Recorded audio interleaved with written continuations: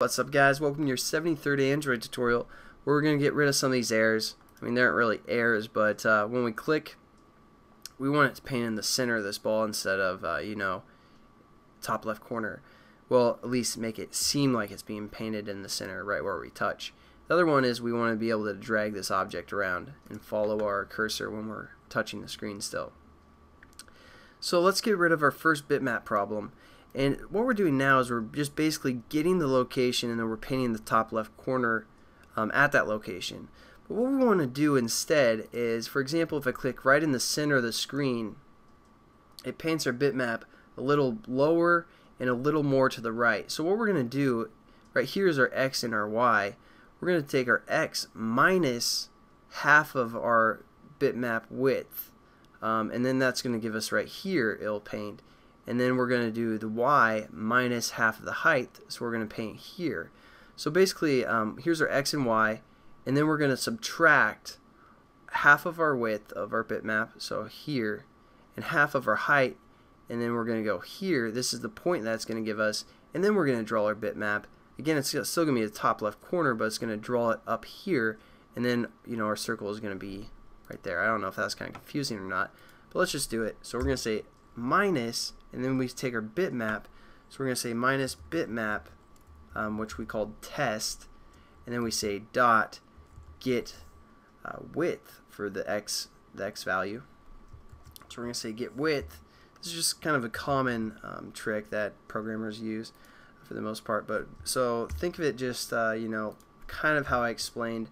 It's giving us half of the width of the length of our bitmap, and then we're going to subtract that from the from the x value. We're also going to do that for the y value as well. So we're going to say minus test dot get height this time divided by 2. I don't know if that's confusing or not, but I just want to show you guys that because it's pretty common in, in programming, especially for game programming and bitmaps. And now when we run our, or let's just finish it because uh, the other problem's pretty simple as well. Um, so this touch on touch method, basically it's returning false. So once it gives us our, our information, it's just going to be like false, I'm done.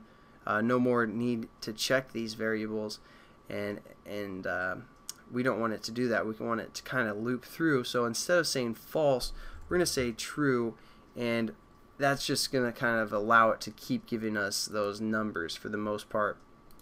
So that's the simple fix for making the bitmap actually follow our cursor when we're clicked down pretty simple.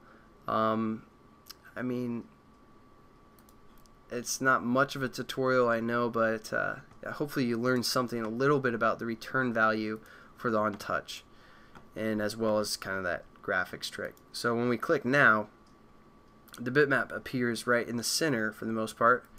Um, yeah, right where we click, it seems like it's appearing right there. Um, and then the other thing we need to do is click and drag. And as you can see now, since we changed that return from false to true, our bitmap is kind of following us along. Um, and in the next tutorial, not quite sure what we're going to do yet. I might do a little, maybe like one or two more on this graphic stuff, and then we're going to get into something completely different.